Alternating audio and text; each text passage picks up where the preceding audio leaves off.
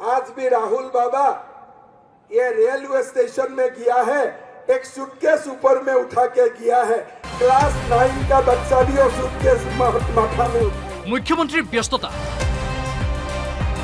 বিগত এসপ্তাহ গুৱাহাটীত প্ৰায় নাই বুলিলেই হয় মুখ্যমন্ত্ৰী হিমন্ত বিশ্ব শৰ্মা নিজৰ ছ'চিয়েল হেণ্ডেলত মুখ্যমন্ত্ৰীয়ে আপলোড কৰিছে দেশৰ ভিন্ন স্থানৰ ফটো আচলতে বিগত পোন্ধৰ ছেপ্টেম্বৰৰ পৰাই ৰাজ্যৰ বাহিৰত ব্যস্ত হৈ আছে মুখ্যমন্ত্ৰী শৰ্মা।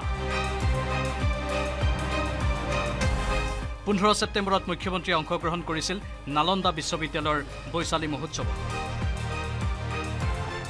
তাৰ পিছতে মধ্যপ্ৰদেশলৈ গৈ ষোল্ল ছেপ্টেম্বৰৰ দিনটোত চাৰিখন জনসভাত অংশগ্ৰহণ কৰে তেওঁ।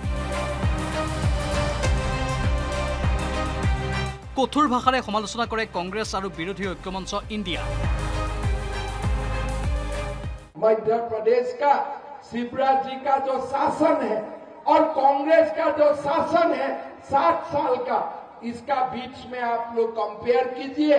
रास्ता बना, बिजली आया, कृषि का प्रगति हुआ, सिंचाई का पानी आया, लाडली लक्ष्मी जैसा स्कीम हुआ, लाडली बहना जैसा स्कीम हुआ, कृषक का सम्मान हुआ, घर घर में पक, घर घर में पक्की घर बनना आज शुरू हो चुका है मध्य प्रदेश प्रगति और विकास का एक बहुत बड़ा मिसाल बन चुका है মধ্যপ্ৰদেশৰ পৰা ষোল্ল ছেপ্টেম্বৰৰ নিশা গুৱাহাটীলৈ ঘূৰি আহে কিন্তু মাত্ৰ কিছু সময়ৰ বাবেহে কাৰণ গুৱাহাটীত আছিল অমৃত বৃক্ষ অভিযানৰ বৃহৎ কাৰ্যসূচী সোতৰ ছেপ্টেম্বৰৰ পুৱা অমৃত বৃক্ষ অভিযানৰ অংশ হিচাপে জনতা ভৱনত গছপুলি ৰোপণ কৰি মুখ্যমন্ত্ৰীয়ে অংশগ্ৰহণ কৰে এক সংবাদমেলত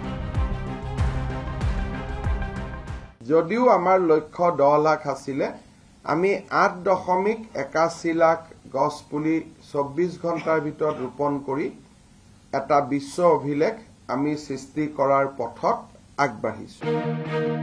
কিন্তু জনতা ভৱনৰ পৰা পুনৰ মধ্যপ্ৰদেশলৈ উৰা মাৰি আন তিনিখন জনসভাত অংশগ্ৰহণ কৰে মুখ্যমন্ত্ৰীয়ে।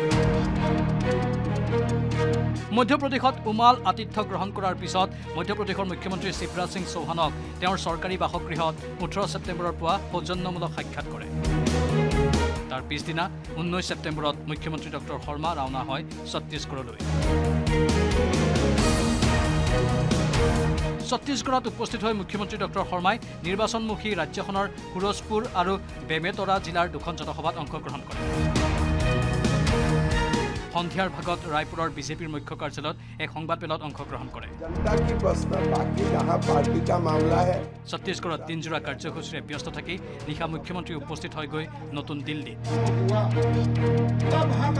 নতুন দিল্লীৰ নিজ চৰকাৰী বাসগৃহত নিশাটো কটাই বৃহস্পতিবাৰে পুৱাৰ ভাগত ভিডিঅ' কনফাৰেন্সৰ জৰিয়তে অসম চৰকাৰৰ জ্যেষ্ঠ বিষয়াবৰ্গৰ সৈতে অংশগ্ৰহণ কৰে এক বৈঠকত।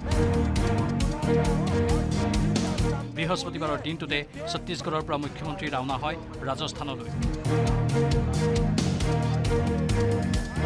ভাগ লয় চাৰিখনকৈ জনসভাত ৰাজ্যৰ বাহিৰতো জনপ্ৰিয়তা বঢ়া মুখ্যমন্ত্ৰীয়ে এনেকৈ এসপ্তাহ কটাইছে ৰাজ্যৰ বাহিৰত मध्य प्रदेश में रहा हूँ यहाँ का जनता Biju Kumar Deka report news eighteen Assam north east माता जी को तो मैं निमंत्रण नहीं करूंगा साथ में ले ही जाऊंगा